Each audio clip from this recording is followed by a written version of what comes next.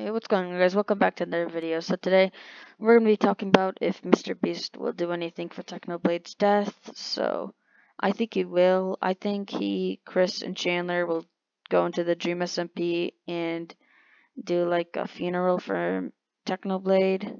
And maybe Mr. Beast will, and his Mr. Beast Gaming channel will do like a $10,000 Bed Wars tournament. And so Technoblade's uh, Technoblade has achieved so much while he was, you know, alive. He got the like the highest Bed Wars win streak. He grew the most potatoes, and we will always remember him as the Potato King.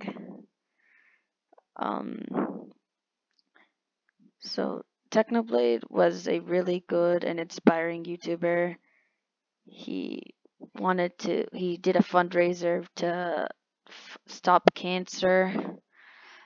Um, he also won a lot of MCCs. Uh, and his content is really good. But he wanted to start a VR series, like a VR hardcore series. But sadly, we only got to see one episode of that. I was really looking forward to that series.